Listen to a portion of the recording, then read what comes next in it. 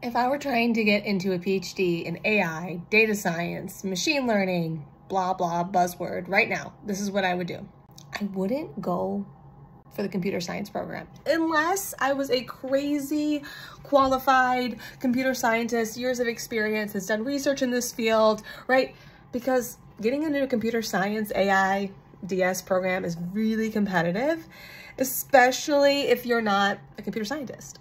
And even if you are a computer scientist, I would still probably sneak in the the side door.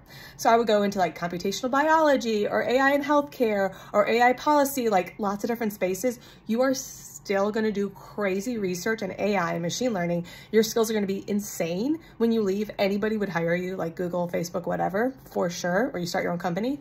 Um, but you're just not competing in the CS space, which is really competitive, right? Now, if you want that CS space and you're like uber well qualified, keep doing